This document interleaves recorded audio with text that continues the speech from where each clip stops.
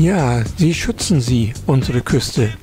Aber der letzte Sturm hat schon wieder ganz schön an ihren Fundamenten genagt. An den Dünen.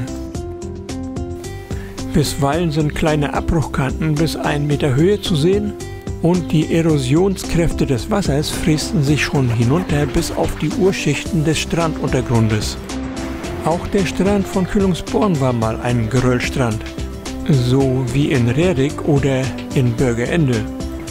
Teile von dieser Schicht bekam man in diesem Winter eindrucksvoll zu sehen. Ja, wir befinden uns hier von Arensee kommend etwas hinter der Ortsgrenze nach Brunshaupten. Doch die Küstenschutzmaßnahmen, insbesondere das Auswechseln der Buhnen durch Tropenholz und die Sandaufspülung, haben in den letzten Jahren entscheidend zur Verbesserung der Strandqualität vor Kühlungsborn beigetragen. Vielleicht das als kleine Einleitung für folgende Momente dicht über dem sich ständig ändernden Untergrund und der Uferlinie.